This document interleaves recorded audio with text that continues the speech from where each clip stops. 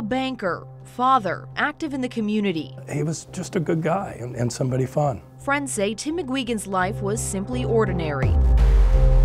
His death was anything but. I just can't figure out why something like that would happen to somebody that lives a, a pretty normal life. September 7th, 2011, Wichita police showed up here to McGuigan's home after he missed a breakfast date with his son, then didn't show up for work. This quiet East Wichita neighborhood quickly became a crime scene. I just remember I was shocked. I just, which I remain to today. McGuigan was murdered, shot six times inside his house. It is a little bit um, baffling, I guess. No signs of a break in, nothing missing, and no witnesses.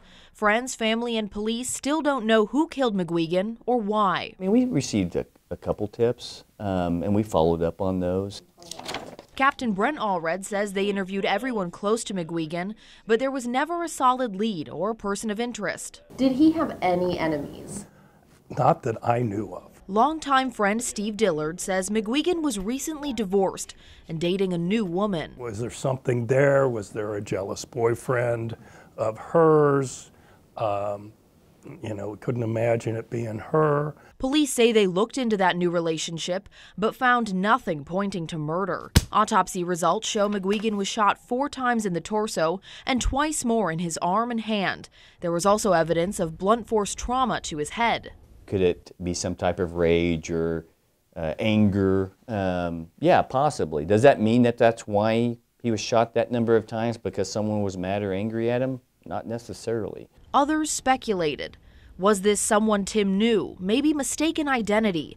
But nothing panned out, and eventually all new information trickled off. I mean, not even a, a whispering, a rumor, nothing recently? Nothing recently. No new piece of information? Nothing. Without a lead, Allred says it's tough to keep working the case. It impacts a lot of people the family, the police department, the community that, that want to know, want something in the end, uh, want to know what happened and bring some closure to all this. Who killed Tim McGuigan? A six year old question that will go unanswered until someone speaks up. There's got to be someone out there that knows something. And it's just. Uh, it's just so puzzling why it hasn't already happened.